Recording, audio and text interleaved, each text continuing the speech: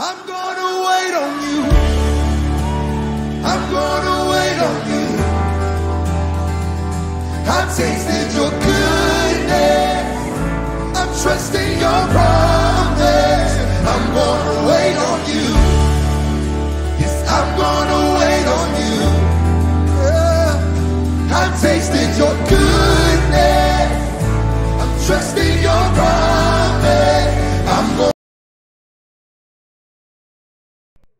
Hello, all. Good morning. Travis Dampier, Travis Dampier Ministries, the disciple of the Lord Jesus Christ.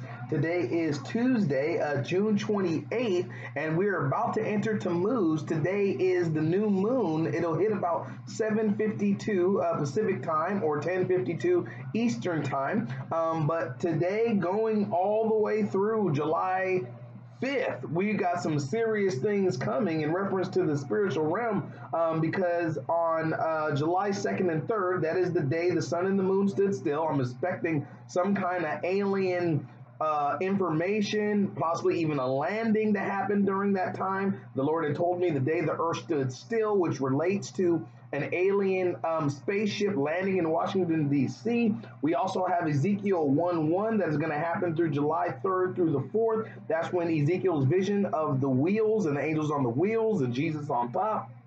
And then um, you also have CERN opening up portals on July 5th. And the Lord has told us that He's going to allow some of these portals to let demonic things come in which could relate to the day the sun and the moon stood still. So we got a lot uh, to talk about, including some more um, World War III stuff um, that is coming. The BRICS has made a new world currency um, that we know is part of the New World Order. So some serious things coming, and we see them aligning right now to the three weeks that is coming with no, another Noah timeline alignment of the 150 days plus 74 days where the tops of the mountain became visible in Genesis 8 5, tying also to the super strawberry moon that same night.